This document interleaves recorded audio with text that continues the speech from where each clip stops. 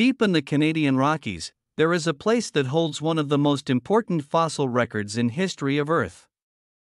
This place is called Burgess Shale. The Burgess Shale is located in Yoho National Park, in British Columbia, Canada. This fossil rich deposit was discovered in 1909 by Charles Doolittle Walcott. It preserves creatures that lived over 500 million years ago during the Cambrian explosion. What makes the Burgess Shale special?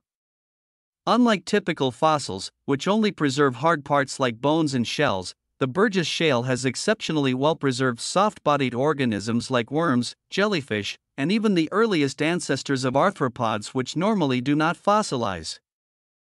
The unique conditions in this ancient ocean helped preserve these delicate creatures. This gives us a rare glimpse into the diversity of life in Earth's distant past. These fossils also include some strange creatures of the earliest complex animals, like trilobites, anomalocaridids, massive, ancient predators, and bizarre creatures like the hallucigenia, which looks like something straight out of a sci fi movie. The Burgess Shale fossils show us a time of rapid evolution, known as the Cambrian explosion, when animal life exploded in complexity like never before. These fossils tell about diverse and strange life of early predators and complex creatures. Through these incredible fossils, scientists have been able to piece together the evolutionary history of many major animal groups. The Burgess Shale has literally rewritten the story of life on Earth, giving us crucial evidence of the origins of complex life forms.